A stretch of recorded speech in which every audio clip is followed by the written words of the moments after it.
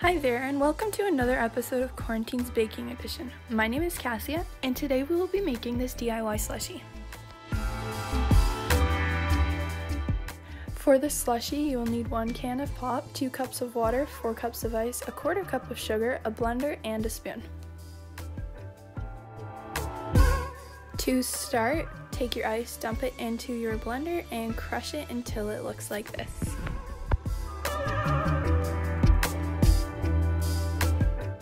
Next, you are going to want to take your sugar and dump it into your water. The water does not have to be a specific temperature here, and you are just going to want to mix it until the water is no longer cloudy and looks clear.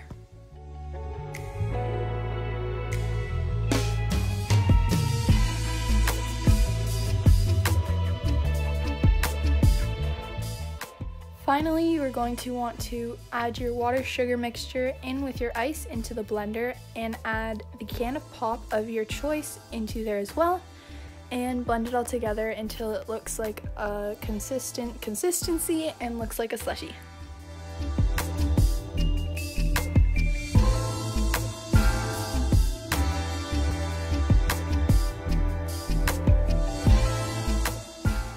So here's what your blender is going to look like. You will notice A, that the ice is not crushed all evenly, and that is perfectly okay, and that the ice does in fact sit on top of the liquids.